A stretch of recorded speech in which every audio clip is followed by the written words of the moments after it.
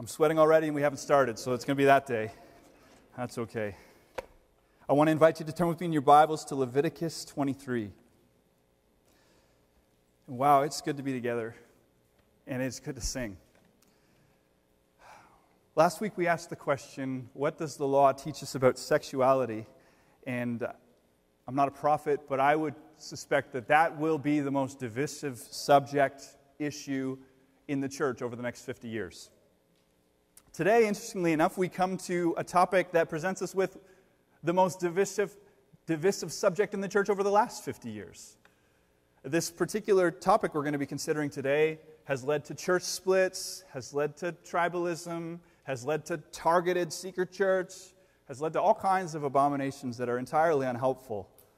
It stems out of this question we're going to ask What does the law teach us about worship? What does the law teach us about worship? Now, it's, I'll, I'll just say this as a disclaimer off the top. There's so much that could be said about this topic. And if you know me, you know that this is a topic that's near and dear to my heart. I'm the son of a pastor.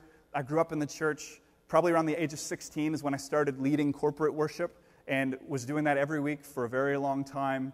I went to school, got a Bachelor of Church Music, um, and have made just so many mistakes and have put my foot in my mouth so many times that I feel like there's just been a lot of lessons that I'm really excited about that I want to share. And then as I sat down to write this sermon, of course, I've got all these things that want to come out of me. Uh, it was really good for me because uh, I wanted to, I had to root myself in this text. And there's just some powerful things coming out of this, but it's not going to be everything that we could say. And so here's one disclaimer one thing we're not going to talk about today, but it's important enough that I want you to hear it.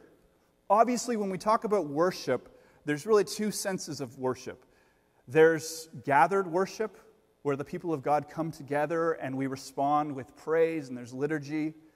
And then there's the scattered worship. Like Romans 12 talks about how we are to put our lives on the altar as a living sacrifice. Everything that you do in your life is worship. So when you're raising your kids, it's worship. And when you're going to work, that's worship. And when you're doing the dishes, that's worship. Uh, and so obviously, both of those are true. And today, we're not going to be talking about scattered worship. That doesn't mean it's not a thing, that just means that's not what Leviticus 23 is about.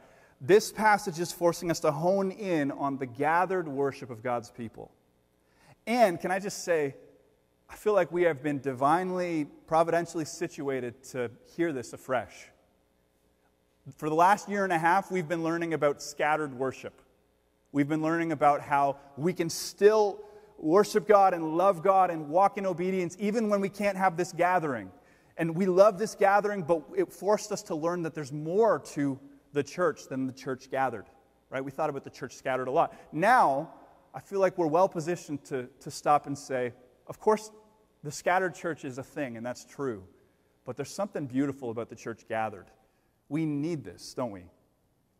And so let's look to the law and let's ask the question what does the law teach us about this worship, this gathered assembly? As we said week after week, the law presents us, it's like going back to the kindergarten classroom. And we can say that because the Apostle Paul used that language. In Galatians, he talked about how the law is like a tutor, like a nanny of sorts.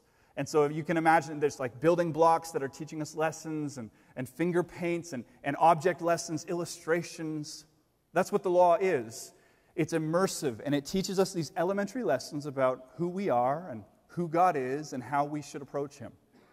And so we're going to come back to this text and we're going to say, what are the elementary principles that should inform our worship today? So look at Leviticus 23. It's a big text. This is 44 verses. As you look at this text, here's what you should see and what you will see by the end of the day. Does anyone here use the paper uh, year calendar? Anybody have one of those on their fridge? Amanda loves these. Um, and I, it, I put everything into my digital calendar. And guess how well that syncs with the paper calendar? Not very well at all. Uh, so I don't quite understand the uh, affection for this paper calendar, but if you've got one, then you'll understand this. When you look at that paper calendar, you got the whole year in a glance. Well, that's what we see in Leviticus 23. It's the whole liturgical worship year at a glance. So, you want to know what Israelites were doing in their year? This is it. These, this is the big rock. It's the first thing they put in their calendar, and God has written worship, this corporate worship. He's written this into their calendar, and you can see how it all fits. So, what we'll do this morning is we're going to walk through the text slowly. We'll unpack these festivals and ceremonies, and then we'll apply these elementary lessons to our worship today. Look with me now to Leviticus 23. We're going to begin by reading verses 1 to the end of verse 3. Hear now God's holy, inspired, living, and active word to us today. The Lord spoke to Moses, saying, Speak to the people of Israel and say to them, These are the appointed feasts of the Lord that you shall proclaim as holy convocations. They are my appointed feasts. The Sabbath. Six days shall work be done, but on the seventh day is a Sabbath of solemn rest, a holy convocation. You shall do no work. It is a Sabbath to the Lord in all your dwelling places. So let's, let's stop there. Here we learn our first elementary lesson about worship, and it is this worship rests. Worship rests. So, as I said, we, this is the annual calendar. Well, before he gets into the big rock pieces, he, he puts a big rock piece that's going to appear on every single week in the Israelite calendar. On the seventh day of the week, which was Saturday, that was to be the Sabbath. And that was a day when the Israelites were to stop, to stop it all, to stop their working, stop their striving. It was to be a day of rest and worship. God knew that they needed this. See, the Sabbath was a weekly reminder for the people of God that God was God and that they were not. Because left to ourselves, we will work ourselves to death. We'll take our eyes off of Him. We'll put our eyes on all of the things that need to be done, the fields that need to be harvested, the house that needed to be tended to, the family that needs to be raised. And we will convince ourselves that this whole world spins and operates because of our striving. And the Israelites would find themselves believing that they were the gods of their universe. P.S., that's not unique to the Israelites, is it? How many of us have bought the lie that the world is spinning and rotating because of our working and striving? And if we were to take a day of rest, everything would come crashing down. Well, God wrote it right into their worship calendar, and He said, Guess what? That's not true. I hold it all together. So maybe you should take your eyes off of all of your working and striving and fix your eyes on me every single week. Stop the working, stop the striving, stop the scrambling, and, and turn your heart and your affection and your focus on the one who holds it all together. That's what the Sabbath was all about. Wise, isn't it? Some of you have, have bought this lie, and, and it would be helpful for you to reclaim this principle of rest. So let me ask the question what does this look like for us, this elementary principle of rest? Well, there are some evangelicals who believe that we should still be observing the Sabbath every Saturday. And, and people that I dearly love hold to this view. So they hold to the view that that is the day, that Saturday on every week, you should shut it all down. That should be your day of worship. They wouldn't gather on Sunday. There are people who hold to that. Now, we as a church, just so you know, we don't hold to that. We don't hold to that conviction for a couple reasons. You could look to Romans 14, but let me read you Colossians 2, verses 16 to 17. The Apostle Paul said, Therefore, let no one pass judgment on you in questions of food and drink, or with regard to a festival, or a new moon, or a Sabbath. These are a shadow of the things to come, but the substance belongs to Christ. So Paul puts the Sabbath together with the food laws and the festivals, and he says, listen, all these things were wonderful, but he, says they were a shadow. So you know how shadows work. So let's say you've got an object here, and then the light's shining on it, and of course the shadow is cast this way. Kids, does that make sense? So he's saying Christ is what it's all about. P.S. Jesus said, The law of the prophets, you search them looking for life in them. They speak of me, Jesus said. It, the light is shining on me. So Jesus is the substance, and he said all of these laws and, uh, and all of the, the food laws and the Sabbath and the festivals, they're a shadow. As you look at them, they, they look kind of like what you're looking and longing for, but ultimately what you really need is the substance, which is Christ. And so that's our understanding of these things. We, we believe that they're helpful, we believe they point to truth, but we believe that the truth is Christ. Now, how did the Sabbath point forward to Christ? Well, it taught us that we were fundamentally a needy people. It taught us that our striving would never be enough. It taught us that we will ultimately work ourselves to death unless we learn to let go and rest in God's provision. It prepared us to understand this momentous announcement when Jesus said, The Son of Man, that's Christ, the Son of Man is Lord of the Sabbath.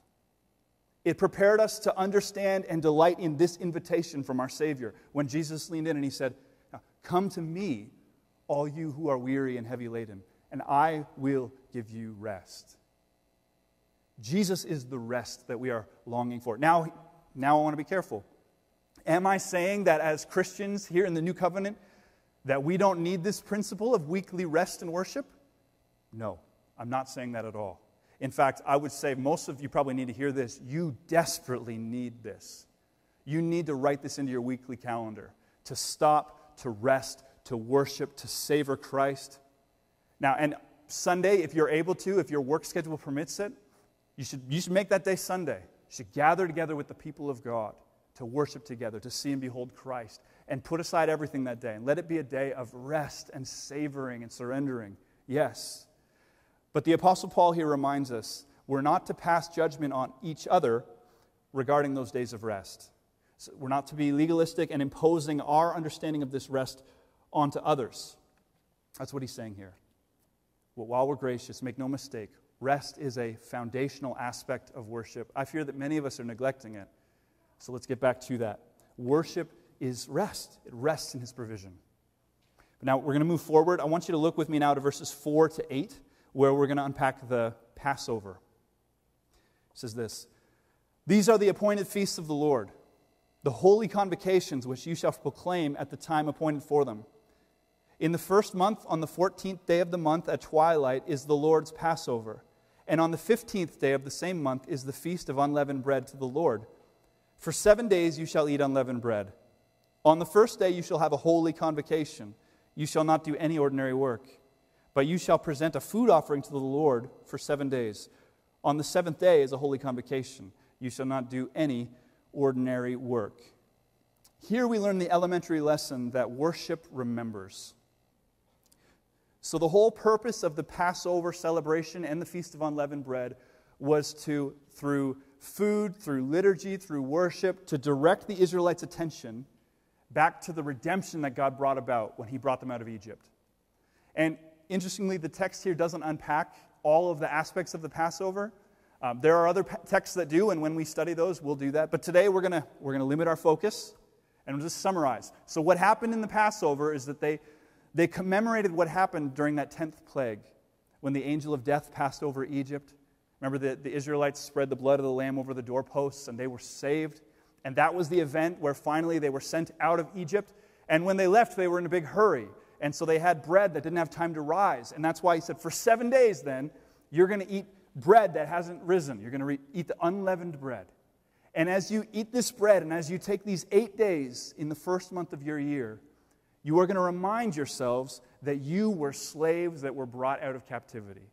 You're going to remind yourselves that your God is strong to save. You're going to remind yourselves that you are the redeemed ones. You're going to remember. In what was certainly not a coincidence, and again, so if Christ is the substance, these are the shadow. Let me just, you, many of you have seen this, but maybe you haven't.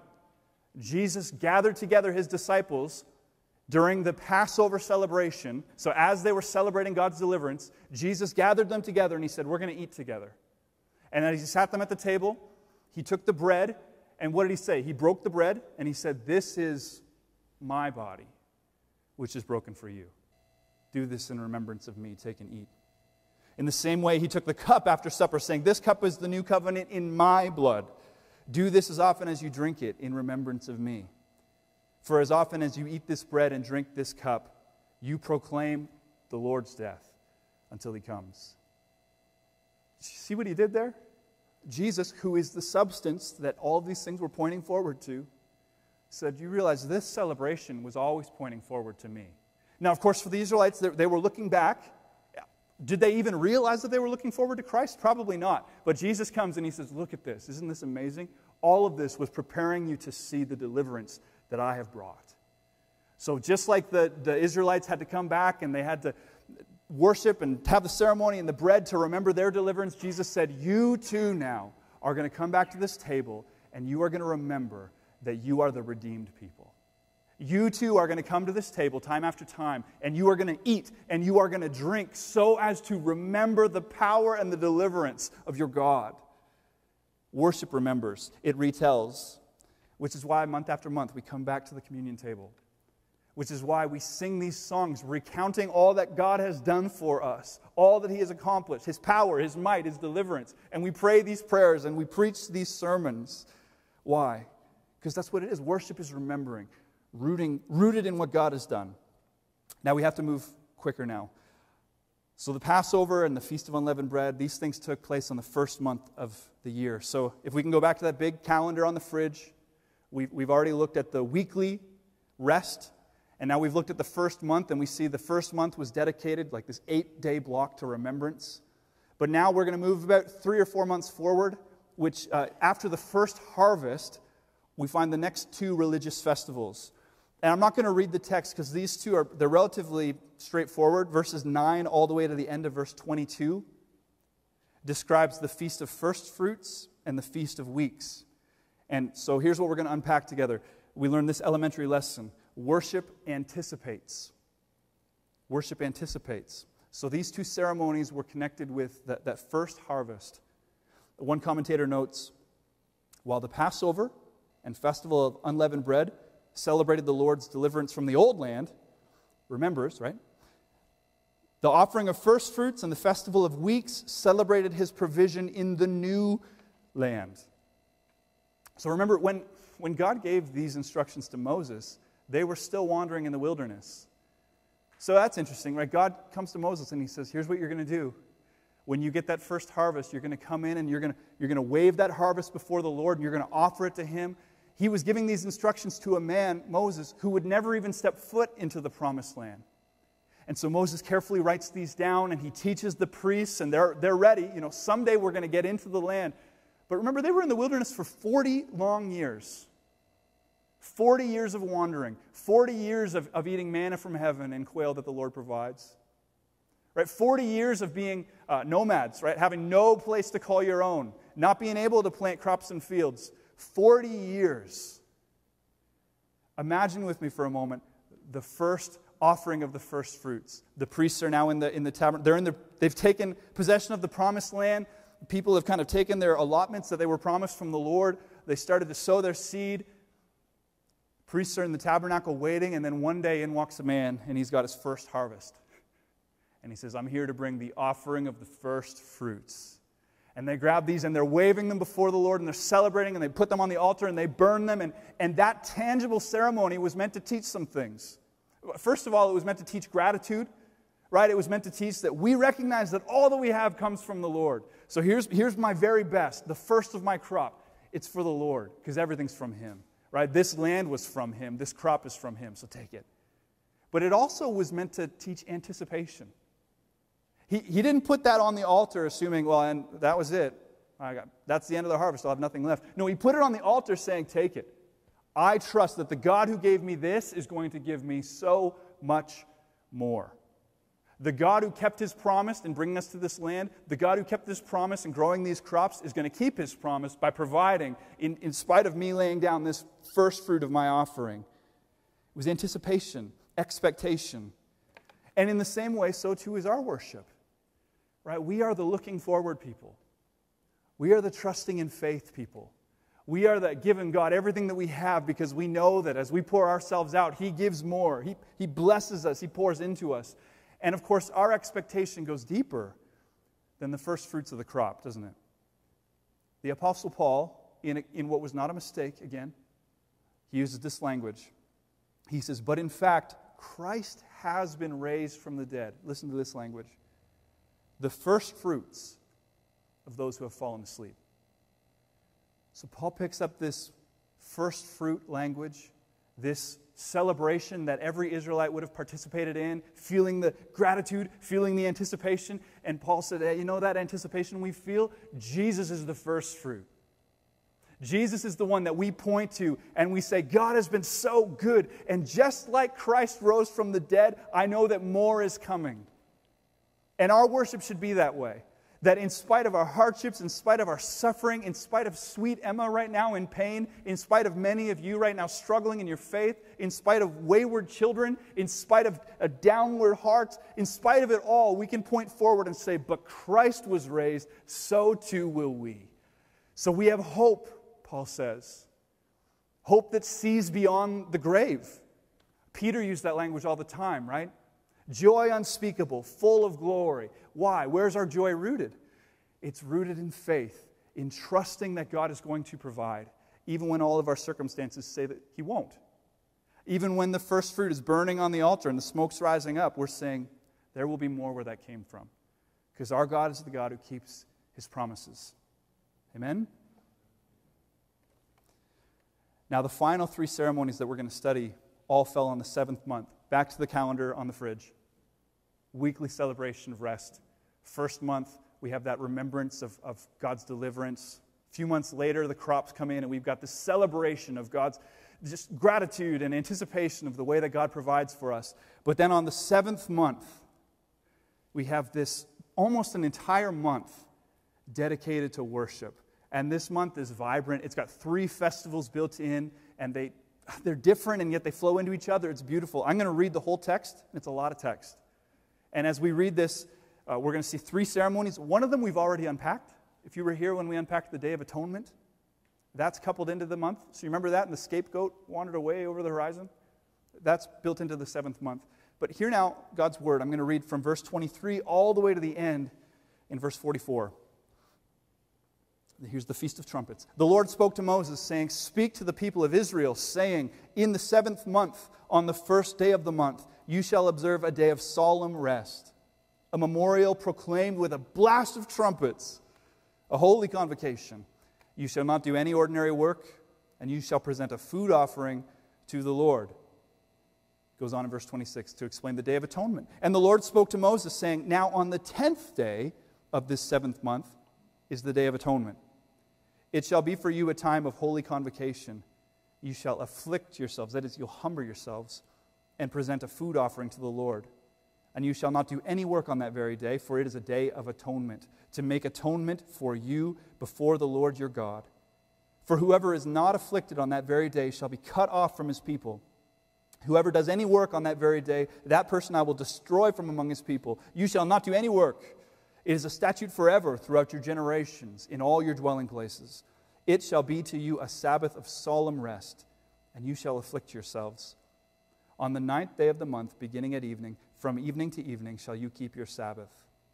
Then he moves into the next ceremony, the Feast of Booths. And the Lord spoke to Moses, saying, Speak to the people of Israel, saying, On the fifteenth day of this seventh month, for seven days is the Feast of Booths to the Lord. On the first day shall be a holy convocation. You shall not do any ordinary work. For seven days you shall present food offerings to the Lord. On the eighth day you shall hold a holy convocation and present a food offering to the Lord. It's a holy, solemn assembly. You shall not do any ordinary work. These are the appointed feasts of the Lord, which you shall proclaim as times of holy convocation for presenting to the Lord food offerings, burnt offerings, and grain offerings, sacrifices and drink offerings, each on its proper day. Besides the Lord's Sabbath, and besides your gifts, and besides all your vow offerings, and besides all your freewill offerings, which you give to the Lord. He goes back to explain now what happens on the Feast of Booths. On the 15th day of the seventh month, when you've gathered in the produce of the land, you shall celebrate the feast of the Lord seven days. On the first day shall be a solemn rest. On the eighth day shall be a solemn rest. And you shall take on the first day the fruit of splendid trees, branches of palm trees, boughs of leafy trees, and willows of the brook, and you shall rejoice before the Lord your God. Seven days. You shall celebrate it as a feast to the Lord for seven days in the year. It's a statute forever throughout your generations. You shall celebrate it in the seventh month. You shall dwell in booths for seven days. All native Israelites shall dwell in booths, that your generation may know that I made the people of Israel dwell in booths when I brought them out of the land of Egypt. I am the Lord your God. Thus Moses declared to the people of Israel the appointed feasts of the Lord. Wow, so there's a lot that we can unpack there, but here's what I'd like to, this elementary lesson I'd like to flesh out for you. In these final three ceremonies on this seventh month, we learn that worship expresses. So just picture this month. Try and just immerse yourself into it for a moment. First day of the month comes, it's the seventh month. Your whole week is built into this idea that the seventh day is a day that's set apart for the Lord. Well, here you are, the seventh month in the year, and that principle expands larger. And that first day, you're resting, you're worshiping, and trumpets are being blasted to proclaim it's a day of rejoicing and victory and worship. Then you get 10 days into that month, and you have the Day of Atonement. And remember, we talked about the Day of Atonement. It's a somber day. He says, You afflict yourselves, you humble yourselves, you quiet yourselves, you remind yourselves that God is holy and you are not. And that's a huge problem. How can you be at one with God? So you have the sacrifice, and you watch as the high priest lays his hands on these animals, and one is sent out of the camp, and you never see it again, and blood is shed, and it's a sober and quiet day. But a few days later, you start this feast. And again, it's, it's restful, but this is like a joyful rest. You're all building tents and you're, you're living in booths to remind yourselves of the, the years that you spent in the wilderness. And people are feasting together and celebrating together. And it's, it's this joyful picnic almost built into your calendar. And that lasts for seven days with a, a big day on the first day, a big day on the last day. All that being said, it was quite the month trumpets and celebrating, weeping and sacrificing, camping and, and enjoying meals together. And all of that was prescribed by the Lord. All of that expressiveness was appropriate, each in its own time. There's a breadth to it. You find that same breadth when you read the Psalms, don't you? You find Psalms where the psalmist is on top of the world and he's delighting and celebrating and he's telling you to bang on, sounds like everything, you know, bang on the drum and the, the cymbal and the, grab a lyre and play that. And I think this is how you play a lyre.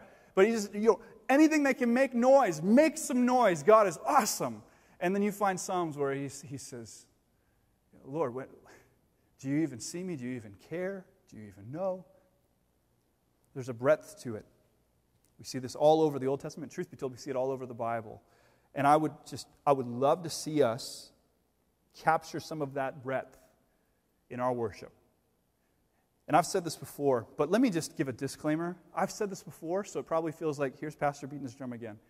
If you don't see this in the Bible, tune me out right now.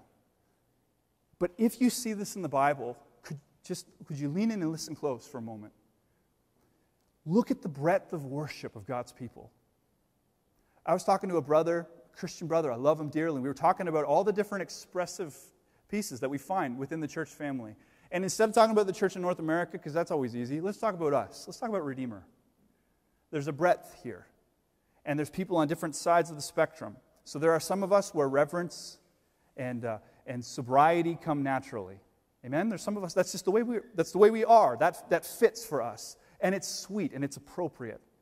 We come to the Lord, and it's almost as if every time we come into the place of worship, it's like we're coming into the Day of Atonement. Quiet, solemn. And when you watch that person, you get this beautiful sense that they know that God is holy, holy, holy. And it is humbling that we could even come before Him. Praise God. We need that in our expressiveness. Amen? We need it. And you watch other people, and they come to worship, and you see joy and exuberance in them and it's like every day they come to worship, they're coming into the Feast of Trumpets. You think, I hope nobody gives them a trumpet. Who knows what would happen? They're just on top of, and you watch them worship, and you think, man, that person understands that God is, is good, and that God loves us, and He delights in His people, and they're expressive and dancing, and, and we need that, don't we? There are times, amen? That's like that's not Pastor Levi's idea. That's the Bible. Both of those are appropriate. But here's the thing as I read the Old Testament and I'm reading Leviticus 23, it's not as if a certain batch of people come out this day and then God says, All right, so that's good. You've, you've worshiped in the way that's comfortable for you. And then He says, Now let's bring out the joyful people. Okay, now let's bring back out the sober people. That's not all of God's people are stretching themselves, expanding themselves to, to appropriately express the breadth of our great God. But I don't see that happen in our churches often.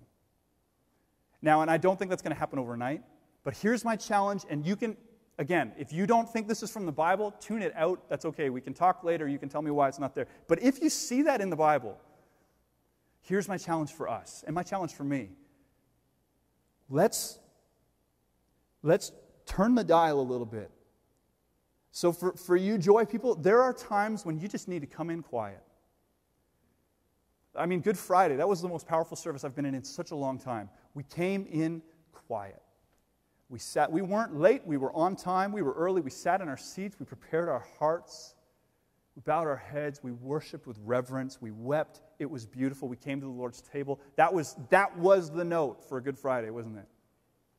But then Easter Sunday came, and it's like we never turned the dial. Easter Sunday, we come and celebrate that Christ is risen, and so too will we, and our hands were still in our pockets. And I just, I think that we can grow in that on both sides. So here, here's, I, I think we need each other. Hear that. I think we need to stop judging each other. Don't look at the sober person and think, that person has no joy in their life. They've got lots of joy. And don't look at the, the joyful person and say, that person doesn't think God is holy. They know God's holy. We need each other. Let's learn from each other. Let's grow together. Let's find a breadth and a balance and a beauty. Let's, I, somebody said this week um, that more is caught than taught, right? Is that right? More is caught than taught. Meaning, I could say this stuff from the pulpit a hundred times, it doesn't matter. You know what our kids are going to learn? They're going to learn what mom and dad do. When people engage with us, when new people come in to worship with us, let them catch the whole breadth of it. Let them see people weeping in reverence and awe before our great God, acknowledging our sin, repenting, trusting. Let them see people rejoicing, dancing at times, celebrating, clapping. Our great God. Let's see it all.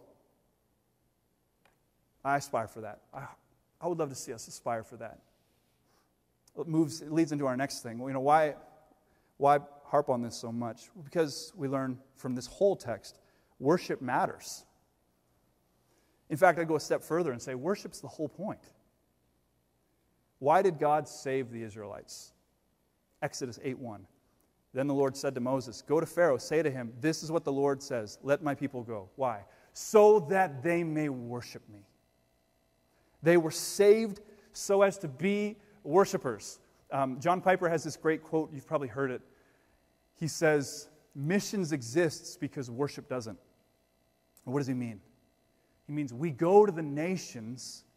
Why? Because the nations should be worshiping God, and they're not yet.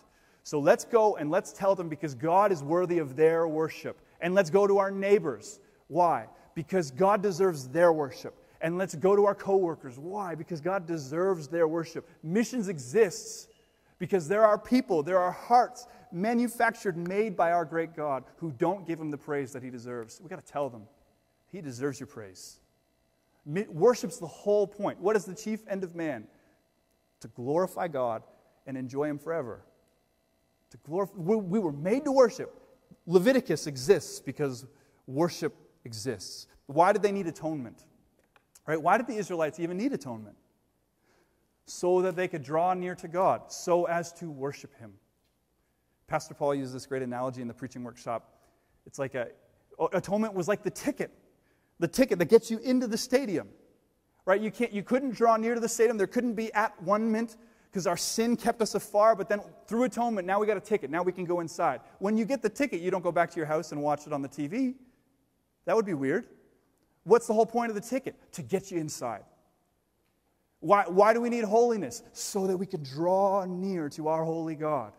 Because we're not content sitting at the back. We want to get right up to the front. We want to come to Him in a way that glorifies Him and honors Him. We want to draw close. Why do we need the priests? The priests are like the ushers, like bringing us to the right seat, telling us when to stand, when to sit, telling us how to observe this, directing our eyes to what we've come to enjoy. All of it exists because of worship. Worship is the point, it's the purpose, it's everything. Therefore, corporate worship was the big rock in every Israelite's calendar. Before they were farmers, before they were fathers, before they were husbands, they were primarily and fundamentally worshipers. And so we're looking back at that fridge calendar. What is the lesson that you're learning from that calendar? Worship matters. You were made to worship, made to follow Christ, to rest in his provision, to remember God's faithfulness, to anticipate his coming, to respond to his character, to breathe in his goodness in corporate worship, and to breathe out his praise as you go forth into the world. That is why you exist. Here's a question What does your calendar say?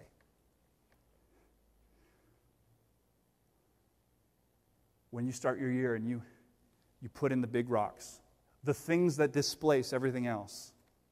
What are the things in your life that displace everything else? Is it worship? Is worship front and center in everything? Because that's where life is found. That's where satisfaction. Isn't it amazing? I, we were praying in the kitchen. It's amazing. God calls us to come and worship. He calls us to come and to, to lift up our praise and to pour it out for Him. But it, it would be just of God if our worship drained us. Like if we just like gave him everything we had and then we walked away exhausted. It's like, okay, well, we gave him all that we had because he deserves it, but now we're spent. That would be just. He could have built it that way. But instead, our great, gracious Heavenly Father said, You come and you pour it all out. You give me everything you've got. And when you walk away, guess what? You're going to feel like there's more in the tank than when you came. As you pour out for me, I'm going to fill you up. Let your life, let this church be about one thing above all else glorifying God as we enjoy Him forever.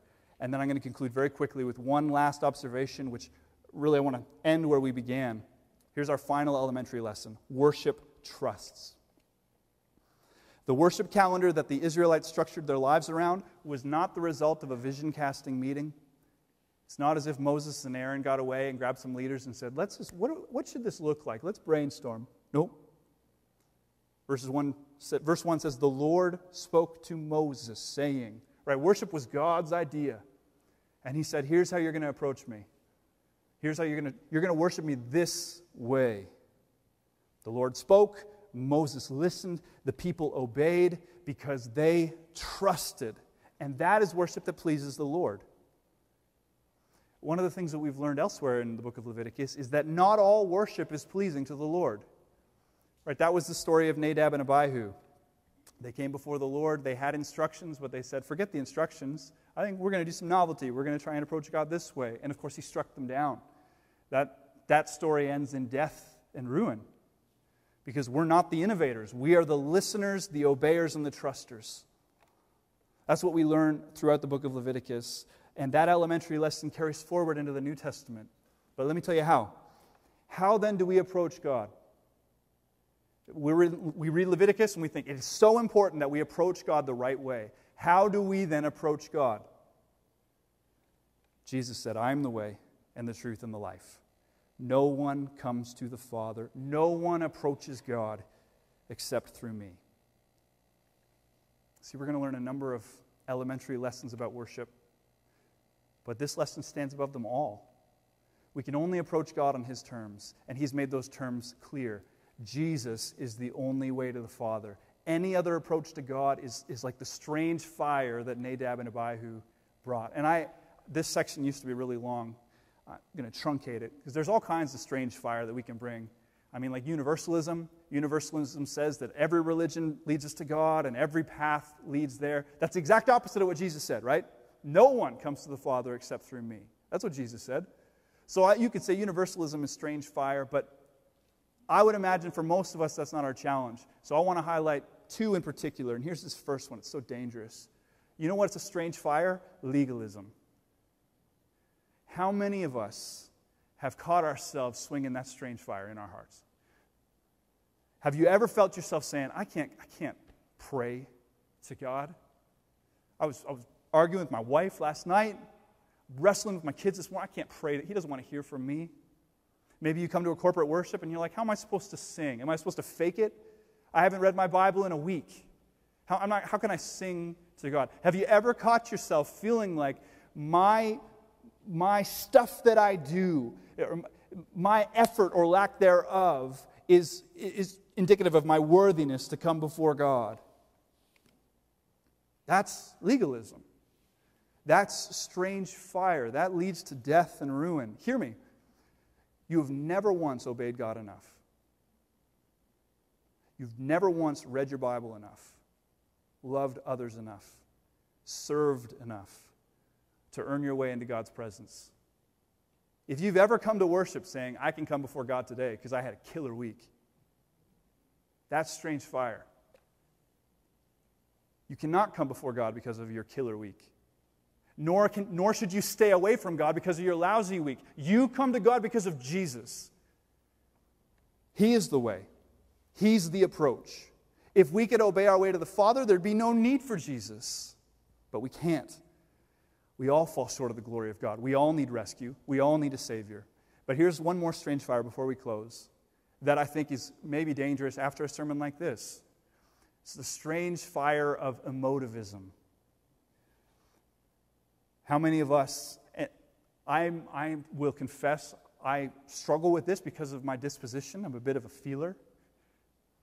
How many of us judge our relationship with God and our ability to approach Him based on how we feel? Oh, I just feel cold. I just feel this. I can't worship God. I'd be faking it because I feel off. Uh, you know, Pastor just said that we should have joy and we should have reverence, and I feel like I have neither right now. I feel like I'm a, I'm a robot. I can't. And we assume because I don't have these feelings, because it's not all bubbling up inside of me, that something's broken inside of me, I can't approach God. It, that's strange fire. You approach God because of Jesus.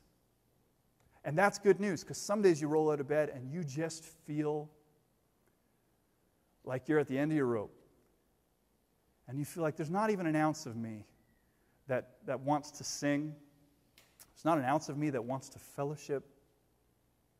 I want to crawl back into my bed. Can I really be a worshiper feeling that way?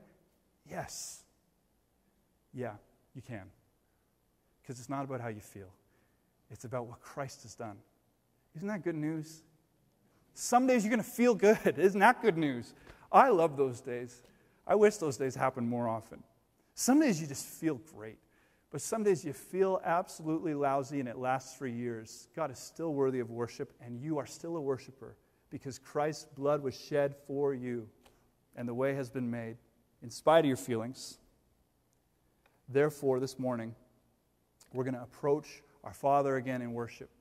We're going to sing two songs today instead of one. I thought about flipping the whole service, and I thought that might be much. But I wanted to give us some time to respond, and I want to give the disclaimer of don't feel pressure of uh, I, I need to express this way or I need to be emotional this way. Don't feel any of that at all. Here's what I want you to feel today gratitude, reverence, awe, wonder, humility, joy, the whole breadth of it all. Some verses are going to cause you to want to fall on your knees and cry, some verses are going to make you want to dance. You don't need to do either of those things, but I would just say this engage with God with all of who you are and invite Him to stretch you just a little bit. Invite Him to stretch that joy muscle and that reverence muscle. Give Him praise that He deserves. Let me pray. Heavenly Father, we confess that we have brought our worship to all the wrong places. We've done it so many times. Um, Lord, some of those things we identify, we readily see. You know, some of us have bowed down at the altar of, of sin. Lord, we talked about last week sexual sin and pornography. It's an altar that we've often bowed down at, bringing our worship to the wrong place and walking away empty and unsatisfied. That's what, the, that's what idols do. Unlike you, when we worship the idols, we walk away with less than what we had. Some of us bow down and worship idols that are more respectable idols, like our sports, our vacation, our leisure, our TV, our job, our family. Lord, we want to bow down at your altar because every good gift actually comes from you. And so we want to thank the giver. We want to worship the giver. We want to delight in you. Lord, and we confess that our hearts are prone to wander. We feel it, prone to leave the God we love. So, God, we just confess today that we need your help. Thank you that you are generous to meet us in our need. We pray for the help of your Holy Spirit to direct our affection to you, to direct our attention to you, to stir us to praise even when we feel exhausted and depleted, to stir us to praise even when we haven't measured up to the standards that we know that we want to reach, to come before you in praise and thanksgiving, even though the fig tree does not bud and there's no grape on the vine and the olive clove fails and the field produces no fruit, we want to say with Habakkuk, Yet I will rejoice in God. I'll rejoice in God, my Savior. Let that be the cry of our hearts. So, Father, I pray for your people. I pray for this church. Lord, we want to get everything right. But in particular, Lord, we want to get this right.